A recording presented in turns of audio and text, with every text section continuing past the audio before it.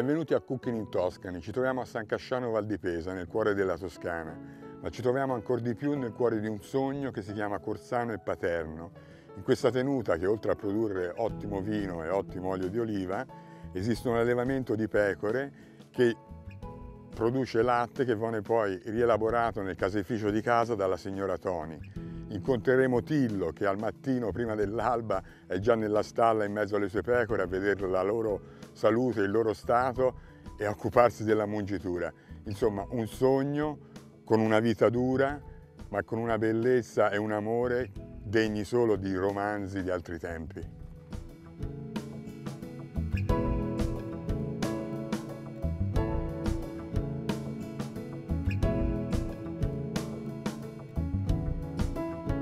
Zio svizzero e ha comprato l'azienda negli anni 70, ora preciso la data non so ha comprato prima questa casa qui che è Fattoria Corzano e poi dopo un po' di anni ha comprato l'altra azienda Fattoria Paterno. Sul lato di Paterno abbiamo il branco di pecore, sul lato di Corzano più che altro la cantina perché la nostra azienda fa il vino, fa il formaggio, abbiamo 720 pecore sarde e anche agriturismo, infatti abbiamo 40 posti letto. È un po' scomodo questo, ma ti dico la verità, che veramente la famiglia è grande, e abbiamo bisogno anche un po' di spazio, quindi è benissimo che c'è metà famiglia da un lato, metà famiglia dall'altra e questo è buono. Ora mettendo tutto insieme, portando il caseificio qua dove c'è anche la cantina, il vino, portando anche gli uffici, il negozio di vendita e tutto insieme, dovrebbe aiutare anche la vendita, insomma, creare un bel ambiente anche qui per le degustazioni, per queste cose qui.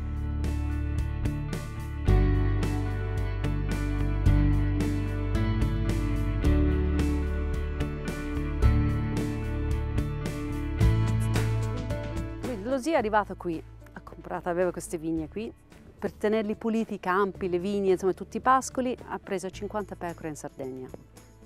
Con uno sardo per badare queste pecore perché lui è stato svizzero, cittadino, non sapeva niente. Insomma, piano piano hanno cominciato a fare il latte, hanno fatto un po' di formaggio loro, si vendevano sempre gli agnelli e pian piano questo gregge è cresciuto, insomma 400-500, ormai siamo appunto a 720 poi abbiamo deciso vent'anni fa che non era più il caso di vendere gli agnelli, era meglio vedere di trasformare il latte a noi e fare il formaggio. Quindi a quel punto il mio secondo figlio andava all'asilo, pensavo vabbè ora c'è un po' di tempo, prova un po'. Sono andato da un pastore qui vicino e ho fatto un po' di lezioni, un po' un siciliano molto simpatico, mi ha insegnato un po' i trucchi. E poi pian piano abbiamo cominciato in questo caseificio dal lato a Paterno, dove c'è la stalla, e appunto da 18 anni che sono lì, in questo piccolo spazio, con l'inizio di solo pecorino, ricotta e marzolino, un po' di stagionato, e ora appunto siamo arrivati a 12 tipi diversi.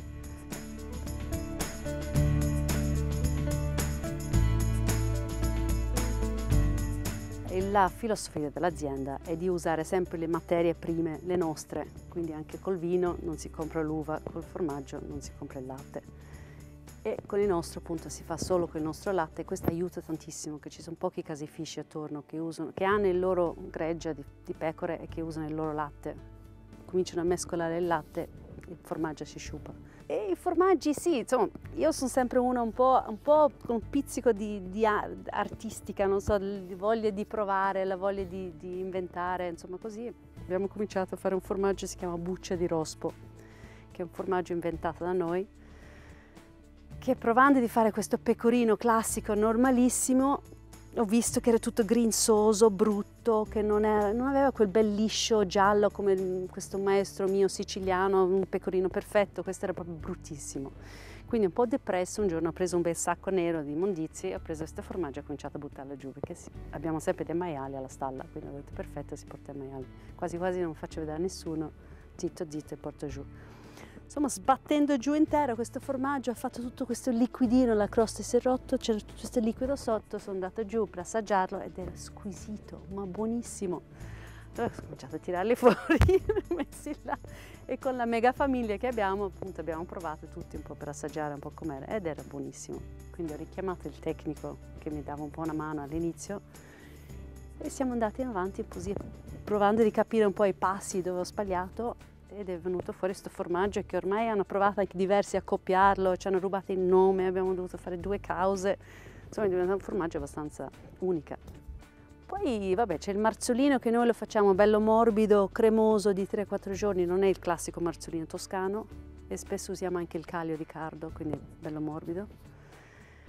E lo zaffero con lo zafferano, pepe verde, sono dei tocchi enormi così, belli gialli, queste bacche verdi del pepe, poi li tagliamo a pezzi, si fa sottovuoto e questo piace tanto sempre usando il zafferano DOC buono il San Gemignano. E poi l'erbolino, prezzemolo alle peperoncino, il Rocco, che è il formaggio nominato dopo il mio quinto figlio, è un stile caprino, tondo con le muffe bianche, col cenere attorno e quello quadrato è solo bianco.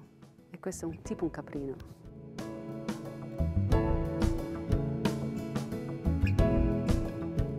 La cosa che mi piace, che mi affascina tutto, è che questo latte arriva come stamattina, arriva in quella botte un latte e da quel latte ne fai tutte queste cose diverse, in una mattina poi.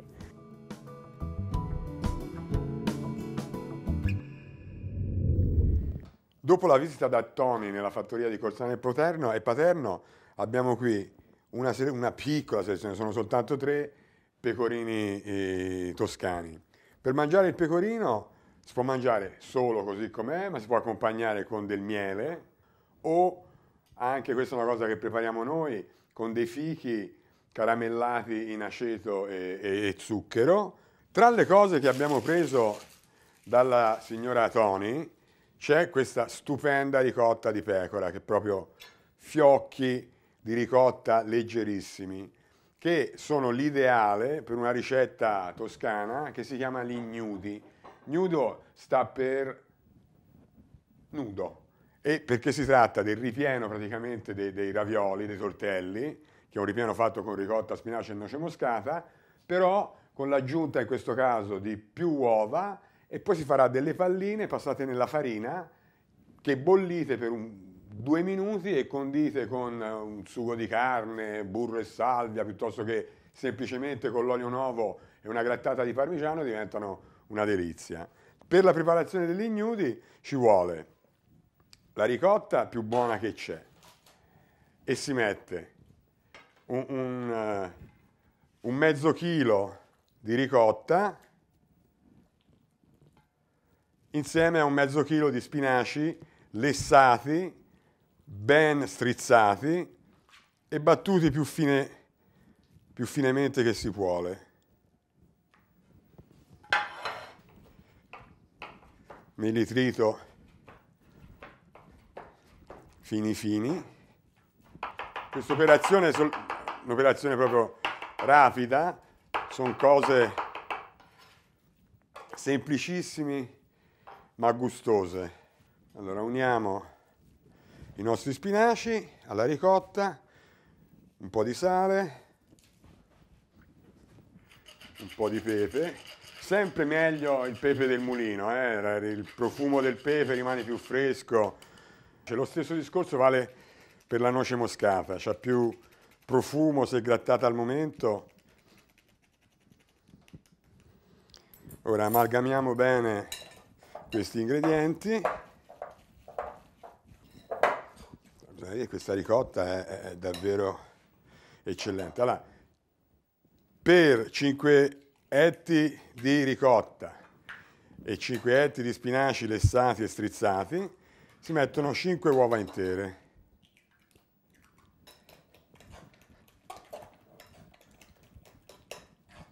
Era con un cucchiaio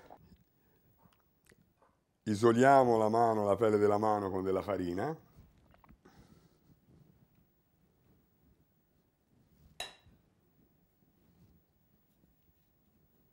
Ecco qua il nostro nudo.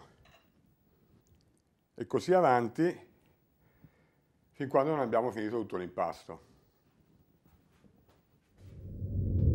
Prendiamo i nostri gnudi, l'acqua sta bollendo, ma prima prepariamo la salsettina burro e salvia.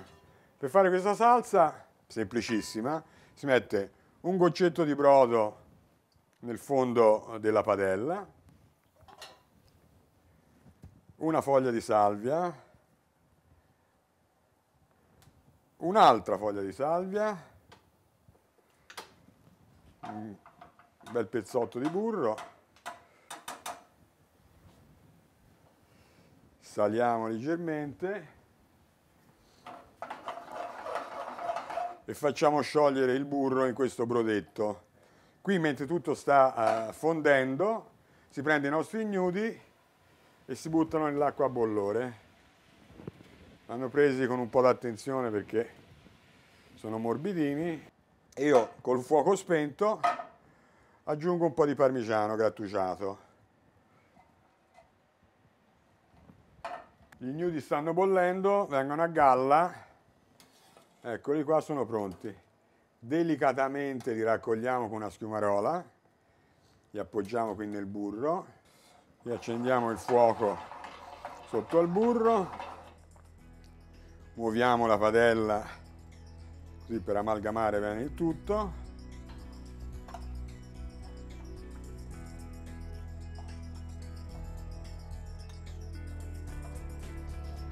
ed ecco i nostri ignudi pronti con la loro bella salsa. Buon appetito!